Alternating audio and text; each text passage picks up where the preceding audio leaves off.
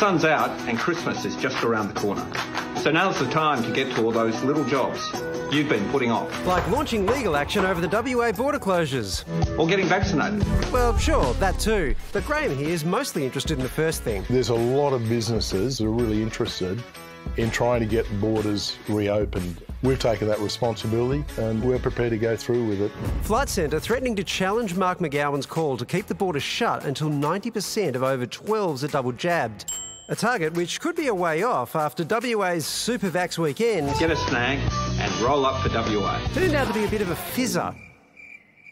The state not on track to open until February. Disappointed! Holding the whole country to ransom, or the people in WA, for a few people who are not vaccinated, um, I think is quite unreasonable. Once you go over 80% and you keep things locked down, you are doing more harm than good to your economy. Like Clive Palmer's failed legal challenge last year, Flight Centre plans to argue using Section 92 of the Constitution, which allows free trade and intercourse among states. Movement. Intercourse means movement in this case.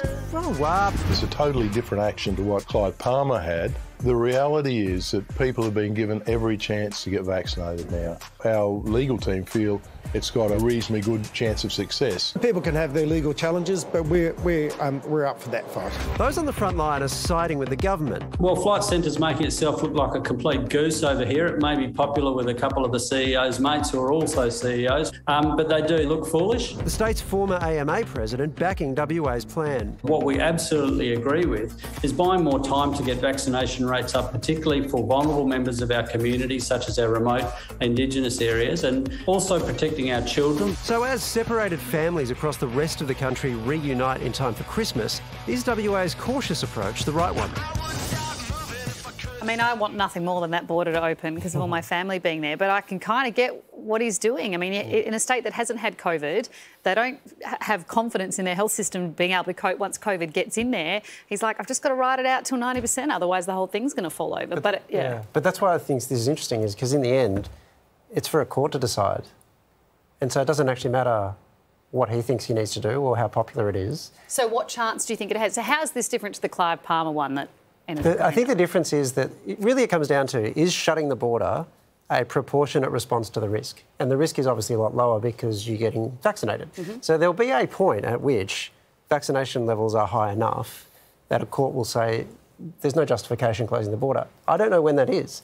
None of us really knows when that is. So it's going to be up to a court to try to figure it out. That's why this is so interesting. So I would guess they won't win it. But if they did, it's it's not doesn't so, mean that Clive Palmer should have. So what it's happens just... if the court then says, "Yeah, do it at eighty percent," and it all falls apart over there? That's what the Constitution required. That's what that means. Sure, yeah, it, it's pretty easy to defend a higher vaccination rate when we still have restrictions at like 80%. Yeah, which is why I think they won't win. Right. But and, they, but they could. It's a, it's a different question. And, and, you get it. I mean, from their perspective, sorry to defend WA here, Gary, but uh, Tasmania took a similar approach because they just don't have the ICU beds. Yeah. Tassie has a, literally a handful of ICU beds, and they knew that if it ever got out of control, they couldn't manage it. So, you know, they'll be open up in time because they've got great and wonderfully high vax rates in time for Christmas, which means my brother can't get out of Christmas lunch. So you're coming, mate, you're coming.